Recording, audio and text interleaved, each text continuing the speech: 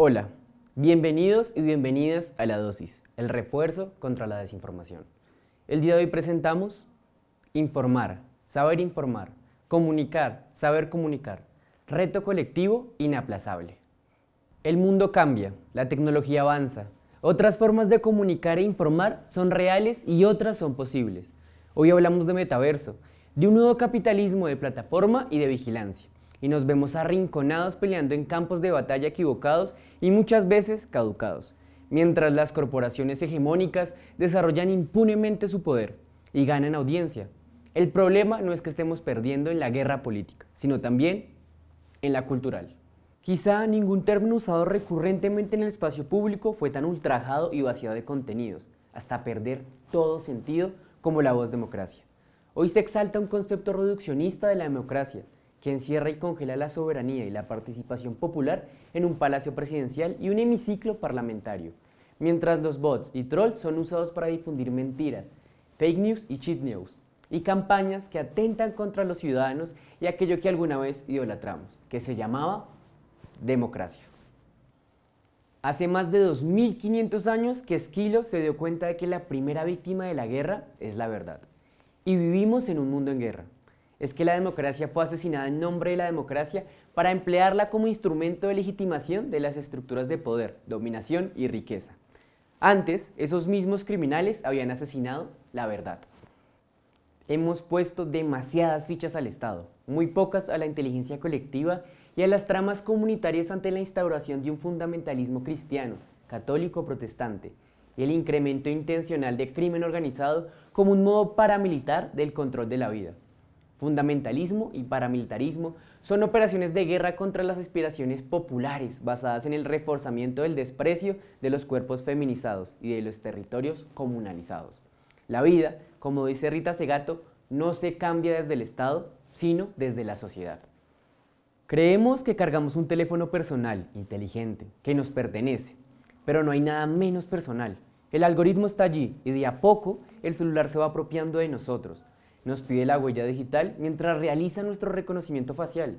Entonces recordamos, añoramos algo llamado intimidad, que fuimos perdiendo mientras vigilan cada paso que damos. Desde hace ya muchos años, nuestra región debate sobre democratización de la información y del espectro radioeléctrico, y sobre la necesidad de poner fin a los latifundios mediáticos. Este debate desató una virulenta respuesta de los grandes grupos mediáticos que tratando de vincular este tema de la libertad de expresión y a las supuestas intenciones totalitarias, arremetieron y arremeten contra los gobiernos y procesos que, con sus peculiaridades y diferentes condiciones, reflejan expectativas y objetivos populares, opuestos por las élites económicas y sociales y a los mandatos del norte. Para nosotros, otro mundo no es posible, sino urgente, y ese es el que intentamos construir desde algunos gobiernos y movimientos sociales que entendieron la necesidad de poner a la pobreza como sujeto de políticas y no como objeto de las mismas, que priorizan la inclusión social y la deuda interna. Pero lo más importante es entender la necesidad de vernos con ojos propios, latinoamericanos, integrantes de aquel tercer mundo y hoy del llamado sur global. Tras más de cinco siglos de vernos con miradas foráneas, colonizadoras, impuestas hasta hoy por los vendedores de espejitos europeos y estadounidenses. Nos veíamos altos, rubios y de ojos celeste, cuando realmente somos también indios, negros, un arco iris de razas y culturas. Era necesario comprender que estábamos en una guerra cultural, ideológica, en la que no hay neutralidad posible, porque ser neutral significa favorecer el statu quo. Hoy, por delante del poder económico y financiero, está el poder mediático, que es el aparato ideológico de la globalización que fabrica una opinión pública favorable al sistema y de resistencia a los cambios estructurales de la sociedad en estas nuevas guerras de cuarta y quinta generación.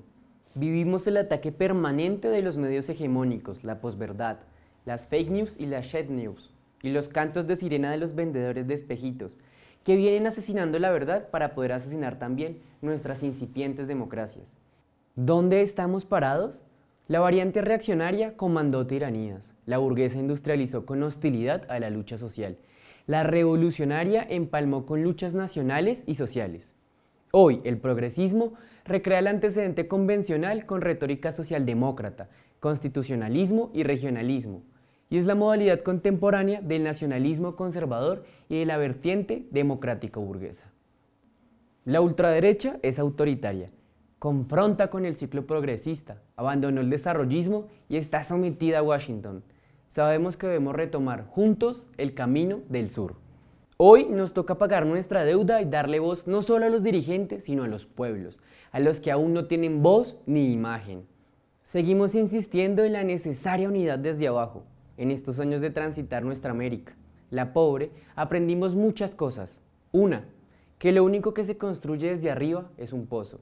La construcción es siempre desde abajo.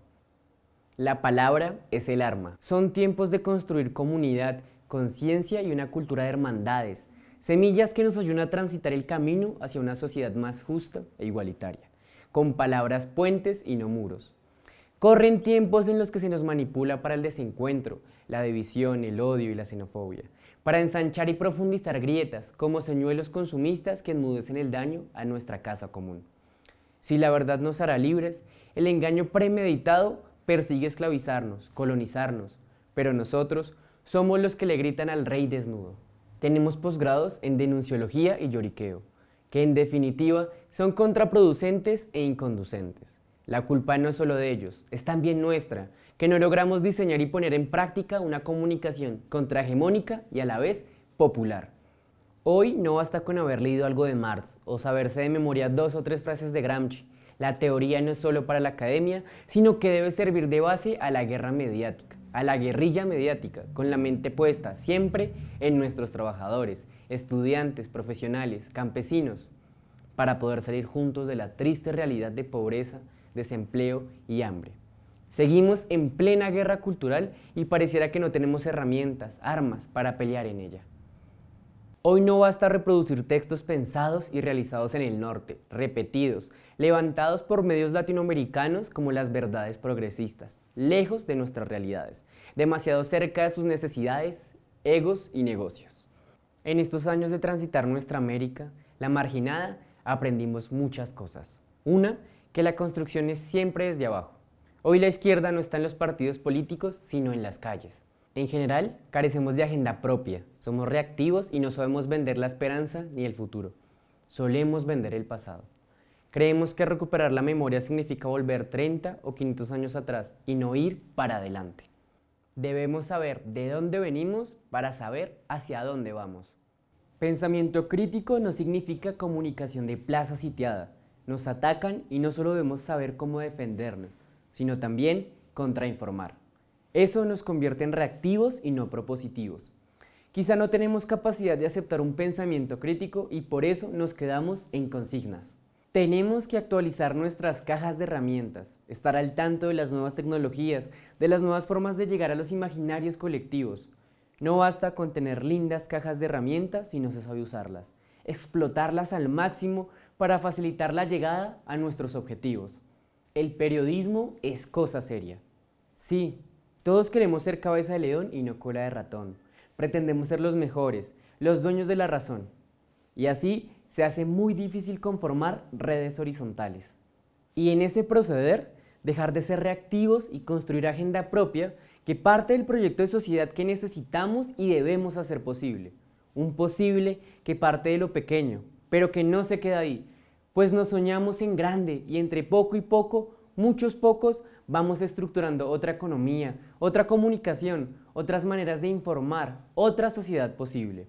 Un proceso articulado en el cual debemos retomar las riquezas de nuestras culturas, potenciarlas, conscientes que en ese campo de batalla no podemos dar más ventajas ni perder. Cultura, comunicación, información, educación, política, economía, todo desde abajo y con los de abajo. Con autonomía, con imaginación entretejiendo redes, articulando recursos y con ello haciendo mucho con poco. No hay otro posible si de verdad queremos ser alternativa real, disputar los imaginarios populares y dibujar con todas las manos otras formas de vivir y ser.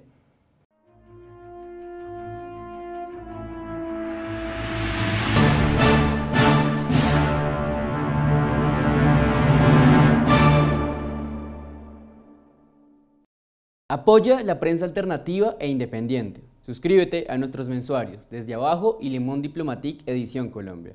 Suscríbete a nuestro canal de YouTube Deja tus comentarios y dale like a este video. Únete a nuestro canal de WhatsApp mediante el enlace que aparece en la descripción. Y síguenos en nuestras redes sociales, Instagram, Twitter y nuestra página de Facebook.